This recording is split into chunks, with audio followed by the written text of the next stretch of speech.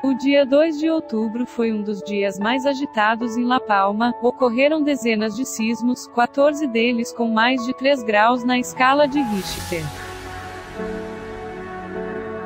Nesse dia, o vulcão Cumbre Vieja abriu mais uma cratera jorrando lava incandescente e destruindo tudo na sua nova passagem para o mar.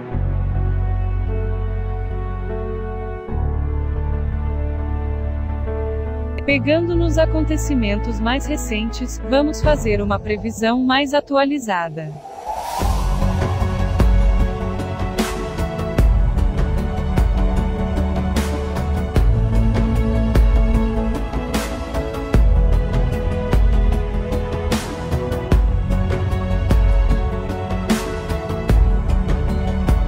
Previsão número 2 com situação em La Palma agravada.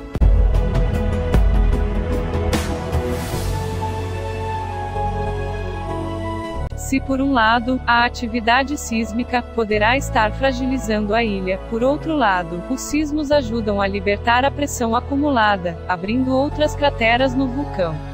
O vulcão de La Palma não é explosivo, é considerado pelos vulcanólogos um vulcão efusivo, em que a lava muito líquida escorre facilmente, como no Havaí.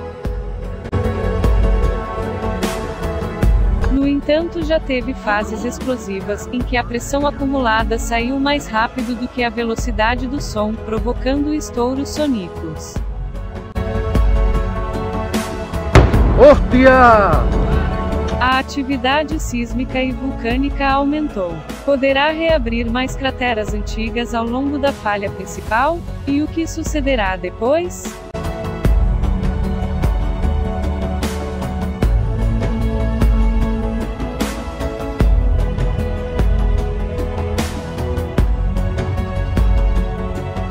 Provavelmente o mesmo que sucedeu em 1949, quando esta situação se verificou, o vulcão em La Palma jorrou lava na encosta poente e nascente da ilha. Aqui é possível ver a data de anteriores erupções históricas, na qual foi adicionada a atual, e mostra como a lava em 1949 escorreu nos dois flancos do vulcão pegando na imagem satélite, e escurecendo as escoadas da erupção de 1949, podemos ver como o homem e a natureza em cerca de 70 anos quase as ocultaram.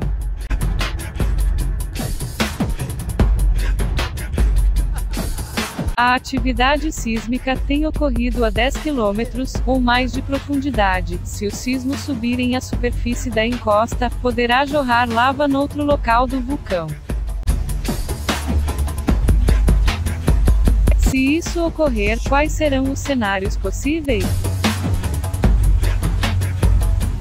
As novas crateras permitem que a pressão na câmara magmática baixe, e a erupção vai terminar, como sucedeu em 1949 e em outras anteriores erupções.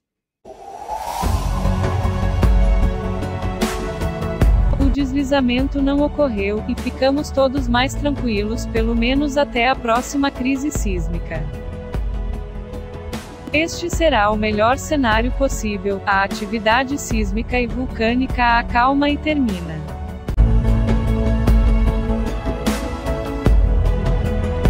Vamos supor que a atividade sísmica aumenta exponencialmente, e ocorre em La Palma um grande sismo sentido em todo o arquipélago das Canárias?